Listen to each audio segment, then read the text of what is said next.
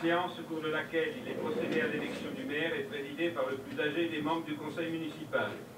Étant malheureusement le plus âgé de cette assemblée, j'exerce donc la présidence du début de cette séance. J'invite les candidats au poste de maire à se faire connaître. François. La candidature de Jean-Luc Moudin.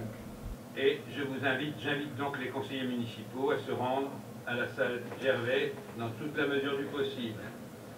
Monsieur Jean-Luc Moudinque, ayant obtenu la majorité absolue des suffrages, est proclamé maire.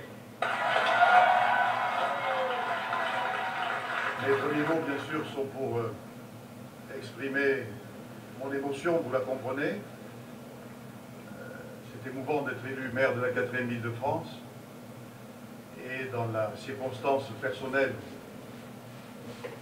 j'éprouve des sentiments évidemment particuliers, car c'est un événement que l'on ne vit pas souvent dans la vie d'un homme.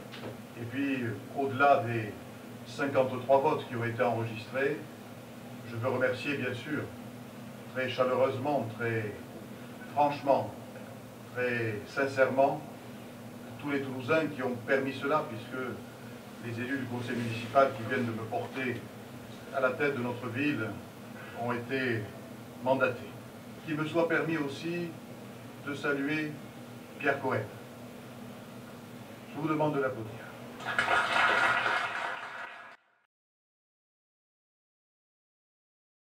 Je tiens à saluer le travail qu'il a accompli à cette place pendant six ans.